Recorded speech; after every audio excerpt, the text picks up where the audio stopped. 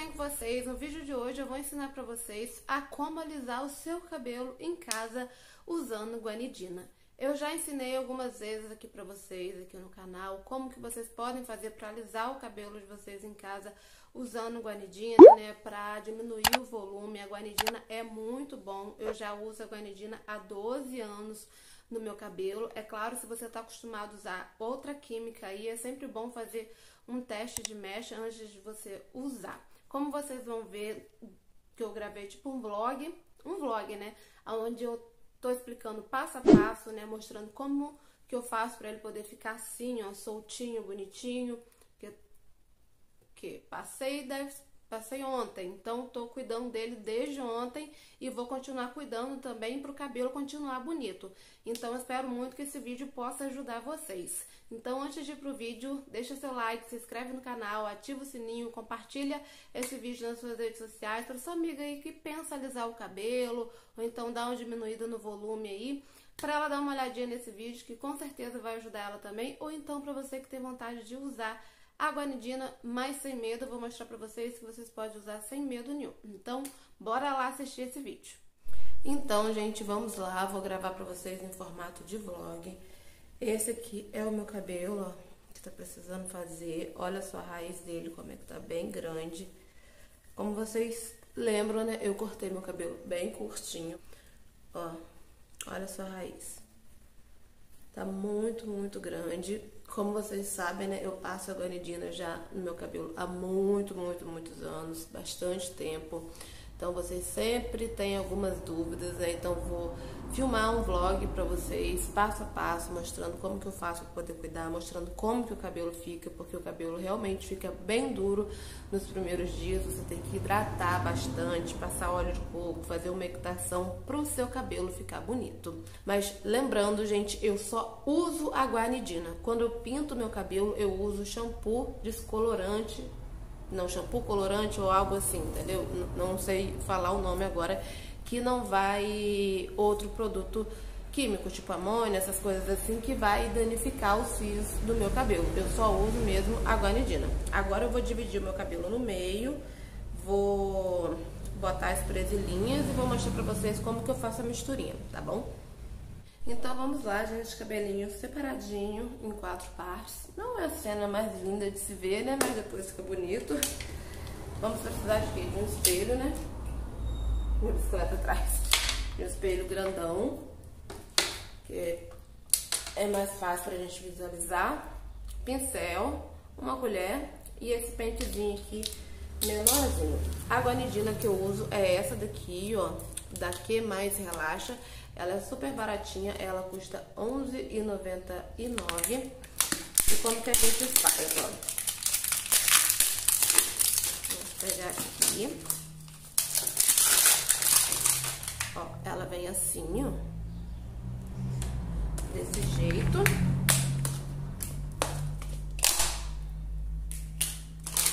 Abrir. Aí vem aqui, ó, shampoo neutralizador, que é o que você vai usar depois. Tá vendo? Foca, não foca. E esse daqui é o líquido ativador, que a gente vai colocar todo aqui, agora nesse potinho. Tá vendo?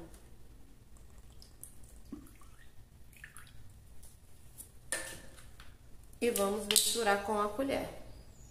Vou misturar aqui e já volto.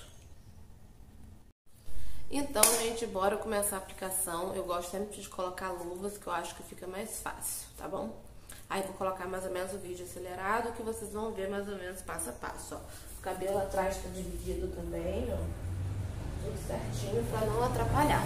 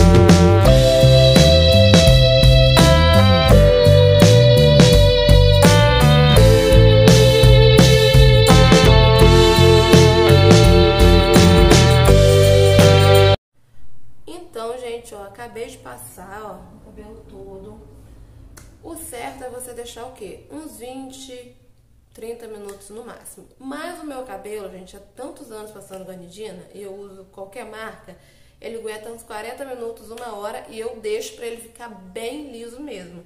Aí o que, que eu faço? Toda hora eu pego o pente, vou dando uma puxadinha para poder ver como é que tá. A hora que eu lavar, eu vou mostrar pra vocês. Aí é que começa a etapa de bastante, bastante, bastante hidratação mesmo. Porque o cabelo fica muito ressecado, fica muito opaco, fica sem vida. Então você tem que cuidar bastante do cabelo, entendeu? Porque muitas pessoas passam assim, guanidina a primeira vez passou a primeira vez, lavou, fez hidratação, só que fala, ah, mas o meu cabelo ficou uma palha, meu cabelo ficou muito duro, mas fica mesmo, gente, o cabelo fica. Mas na segunda, na terceira hidratação que você fizer, você vai ver que os fios vão começar a ficar mais solto, que o cabelo vai ficar mais bonito. Você tem que hidratar, gente. Acabou de fazer o relaxamento, você lavou o cabelo com, com esse Shampoozinho aqui, ó, que é o shampoo neutralizante que vai ajudar a tirar o produto do cabelo. Você tem que começar a fazer muita hidratação mesmo no cabelo. Faz pelo menos 3, 4 dias direto de hidratação que você vai ver que rapidinho os fios, seu cabelo vai soltando. Usa óleo de coco, faz misturinha. É, pode usar um creme também bom, desses mais caros, ou tanto desses mais baratinhos também. É só você ir fazendo a mistura que você vai ver como é que vai ficar. Então, eu vou fazer aqui, depois que passar o tempo aqui, vou fazer a primeira hidratação, vou fazer a segunda hidratação, vou fazer a terceira hidrata hidratação e vou mostrando pra vocês como é que vai ficando o processo pra vocês verem, gente, que guanidina não é ruim. Eu só falo pra vocês, gente, se vocês us usou alguma outra química no cabelo, pelo amor de Deus, deixa passar um tempo pra depois você usar a guanidina pro cabelo não quebrar e você vir aqui no vídeo falar que eu tô ocupada, tá? Bom, gente, agora eu vou lavar esse cabelo, né? Usar o shampoo, usar o meu shampoo também normal. Vou fazer uma hidratação nele com creme, óleo de coco, vou colocar tudo que estiver direito. Já deve ter o que? Uns 50 minutos, quase uma hora. O meu cabelo aguenta, então por favor, vocês fazem um testezinho de mecha primeiro para ver se vai dar tudo certo. Deixa o tempo lá de eu recomendo vocês primeiro deixar o tempo de que manda lá no papelzinho que é que tem para cabelo fio, para cabelos finos, grossos e resistentes. O meu é praticamente imbatível, né? Porque fica aqui uma hora e fica lisinho. Então vou lavar ele agora. Bom, gente, hora da hidratação. Eu tô mexendo com esse com esse negocinho aqui de plástico, porque não sei onde é que está o meu minha colherzinha de de plástico, né? Porque não é bom a gente usar, tipo, aquela colher normal de cozinha, né? Então, já misturei bastante. O que, que eu fiz? Usei esse escala babosa aqui, que é muito bom. E usei também esse azeite aqui, ó, de oliva, pode ser qualquer azeite que você tiver na sua casa, ou então um óleo de coco. Aí agora eu vou passar, vou deixar aqui uns 30, 40 minutos no meu cabelo, com uma touca térmica, você pode colocar papel alumínio junto com a sacola também, o que você preferir. Olha que imagem linda, gente, essa touca na cabeça. Então, botei essa touca térmica, né, porque eu fiz a hidratação no cabelo, porque bebendo uma aguinha agora, né, e bora deixar aqui pelo menos uma hora. Eu esqueço da vida aqui mesmo. Botei azeite, aquele cremezinho de babosa, né, pra hidratar bastante o cabelo. Aí depois eu vou mostrar pra vocês também como que fica e amanhã eu faço hidratação nele de novo. Aí, conforme ele for ficando, eu vou mostrando pra vocês que ele fica, gente, super sedoso. É porque nos primeiros dias ele fica realmente é, um pouco crespo, ressecado mesmo. Mas é só hidratar, gente. Hidrata bastante que ele rapidinho volta ao normal. Então, gente, estou aqui, ó, no cafezinho agora. Lavei meu cabelo, deixei uns 40 minutos com hidratação aqui. Vou deixar a toalha aqui para poder sugar bastante a água do cabelo e depois eu vou mostrar para vocês como ficou. Mas mesmo assim nós vamos precisar de mais uma hidratação para o cabelo ficar mais macio, tá bom? Mais macio, tá certo? Ah, acho que tá. Prontinho, gente, ó, lavei agora. A hora que secar, eu vou mostrar pra vocês. Olha só o tamanho do meu cabelo. Meu cabelo já cresceu bastante. Eu tinha repicado ele todinho. Ele já tá bem grande, ó. não é grande, grande, né? Mas do jeito que tava, cresceu bastante. A hora que ele tiver totalmente seco, eu vou mostrar pra vocês como é que fica. E olha só essa raiz bem baixinha. Eu adoro essa raiz aqui na frente, muito baixinha mesmo. Tanto que aqui na frente é onde eu mais passo. Então, quando ele estiver seco, vou mostrar pra vocês como que ele vai ficar. Amanhã eu faço a hidratação dele de novo e vou mostrando pra vocês esse vlog passo a passo, tá? Bom dia, gente. Hoje é outro dia. Vim mostrar como é que tá a realidade do cabelo. Olha só. Olha só, isso pra vocês verem. A raiz continua super baixinha mesmo, do jeito que eu gosto, do jeito que eu falei pra vocês. Mas ele ainda tá bem crespo ainda por conta do relaxamento, né? Porque meio que deixa o cabelo sem vida, ressecado. Agora eu vou tomar um banho Tá escuro ainda, como vocês podem ver, né? Porque é 5 horas da manhã, eu acordo 4 e meia, 5 horas da manhã, já acostumei a acordar cedo, né? Então agora eu vou lavar e vou hidratar ele no chuveiro com aquela máscara lama negra da Scala que eu já mostro pra vocês, tá? Então, gente, acabei de lavar o cabelo, ó. Tá vendo como é que ele tá? Tá bem mais soltinho do que da outra vez. Eu usei essa máscara aqui, ó, da Lama Negra, que ela é para cabelo escuro, é da Maciez e Brilho, e é a ação em 3 minutos, e eu fiz uma fitagem nele também. Agora eu vou descer lá pra rua, né, porque eu tenho que comprar algumas coisas, vou passar lá na casa da minha mãe. Lá também tem uma máscara boa, um shampoo bom também, que qualquer coisa, se continuar um pouco... É durinha aqui ainda, eu pego e passo, mas a hora que secar, eu mostro pra vocês de novo o resultado. É o que eu falei pra vocês, gente, é hidratação, é bastante hidratação, não é só fazer uma vez, ah, passou o relaxamento, fez uma hidratação que o cabelo vai voltar logo ao normal, que não volta, demora um pouquinho mesmo, gente, porque o cabelo fica meio que crespo, meio que sem vida mesmo, ele fica bem seco, tanto que eu tô gravando esse vlog para mostrar a realidade para vocês e vocês vão ver depois como que ele fica macio, sedoso, fica solto, fica lisinho, fica ótimo. Eu passo no meu cabelo inteiro, já ó, mais de 10 anos já passando já e nunca tive nenhum problema. Deixa aí uns 40 minutos, uma hora, mas eu recomendo vocês fazerem um teste de mecha e deixar o tempo que fala lá no papelzinho lá, porque eu já acostumei já, o meu cabelo sempre, sempre usei é, o relaxamento mesmo da guanidina e sempre deu certo. Quando secar eu mostro pra vocês o resultado. Então, gente, esse aqui, ó, é o resultado sem a chapinha.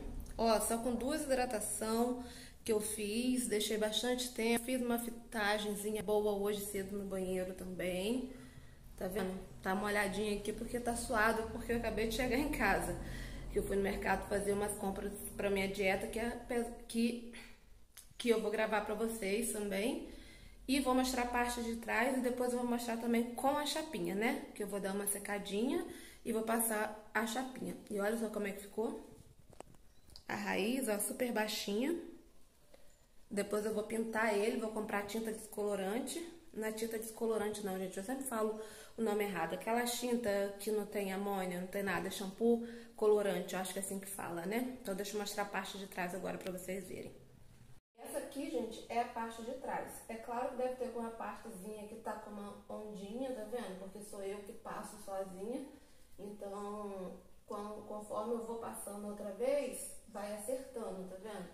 Mas já diminui bem o volume. E foi que eu falei com vocês. Conforme vocês vão lavando, vão fazendo hidratação, vão cuidando. Porque no caso a gente fez o quê? Aqui a gente fez um alisamento. Então o que a gente tem que fazer? A gente tem que cuidar do cabelo, tem que hidratar para ele ficar bonito, né? Para ele ficar cuidado, porque senão não adianta nada, né? Simplesmente, ah, vou alisar, meu cabelo vai ficar liso, pronto, acabou. E, e não cuidar, né? Senão ele vai ficar ressecado, vai ficar opaco, vai ficar feio. Então, ó, aos poucos o balanço dele vai voltando, ele vai ficando bonito, ó. A hora que eu passar a chapinha, eu venho aqui para finalizar o vídeo com vocês. Então, gente, como vocês podem ver, ó. Depois que eu pranchei, ficou assim, ó. É claro que depois que eu der mais uma hidratação nele, vai ficar mais soltinho ainda, tá vendo? Mas já tá bem brilhoso, tá bem bonito. Olha só aqui as costas para vocês verem. Ó, a diferença que tava antes para agora. E também já tava antes também, antes do, de eu passar a chapinha, já dava para sentir bem a diferença, já dava para ver a diferença, né? E agora, e agora é ter muito cuidado. Se vocês quiserem, eu posso trazer vídeos de cuidados com o cabelo. Tá vendo? Como é que cresceu. E fica uma graça. A raiz super baixinho. Então, meus amores, esse foi o vídeo. Espero muito que vocês tenham gostado. Como vocês viram, gente, é super fácil. Não tem nada de outro mundo. Como eu falei pra vocês, o meu cabelo eu deixo 40 minutos, uma hora. Até hoje nunca aconteceu nada. Porque esse cabelo aqui, meu amorzinho, é resistente. Ele aguenta até não poder mais. Porque eu deixo entre 40 minutos e uma hora pra ele ficar bem lisinho mesmo. Eu passo nele todo, como vocês podem ver. E depois eu só gosto mesmo de ir modelando com a prancha. E conforme eu vou lavando, vou fazendo massagem, vou fazendo hidratação, ele vai ficando mais bonito e mais solto ainda. Você pode, é, como eu falei no vlog, se você for usar a primeira vez, faz o teste de mecha, pega aqui atrás, ó, uma mechazinha pequena, faz um teste de mecha para poder ver quanto tempo seu cabelo aguenta, porque é de 15, 20 e 30 minutos ou algo assim. Eu deixo no meu uma hora porque o meu já aguenta, mas eu já falo para vocês, gente, faça o teste de mecha antes de você usar e respeita o tempo limite. E sempre começa daqui pra cá. Primeiro, como vocês partem o cabelo no meio, divide em quatro e começa fazendo a parte de trás e depois você vem para a parte da frente e deixa o tempo lá que vem especificado na bolinha que vem junto. Essa guanidina que eu uso, ela é super baratinha, custa R$ 9,90, alguma coisa assim, eu cheguei a mostrar no vídeo pra vocês. Já usei da Salon Online, já usei de outras marcas também e nunca tive problema. Se você tiver alguma dúvida, é só deixar aqui embaixo que eu te respondo. Vou até deixar aqui a foto agora pra vocês verem também como que fica o antes e o depois. Eu mostrei também o antes de eu fazer a chapinha pra vocês verem como que o cabelo fica, tá? E é isso, meus amores. Compartilhe o vídeo, curte, comenta, vá nas minhas redes sociais e fique com Deus. Muito obrigada por me assistir. Até o próximo vídeo. Tchau!